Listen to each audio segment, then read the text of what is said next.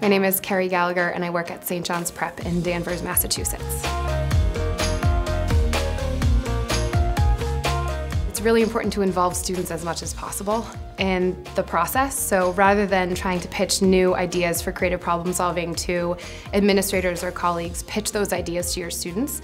As long as you're hitting the standards and skills that you need to hit, how you go about hitting those um, is really up to you and your students. And if they're engaged in the process and they're the ones coming up with ideas, what they produce on the other end will blow everyone's socks off so much that they can't really push back afterwards.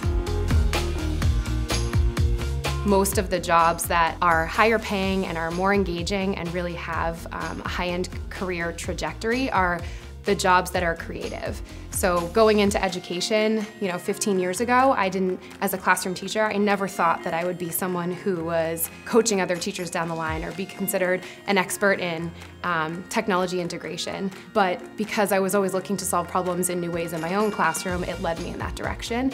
And I hope that by you know, breeding those skills in our students, their careers can proceed along a path that maybe they didn't anticipate, but continues to breed passion in them as they get older and wiser and stronger.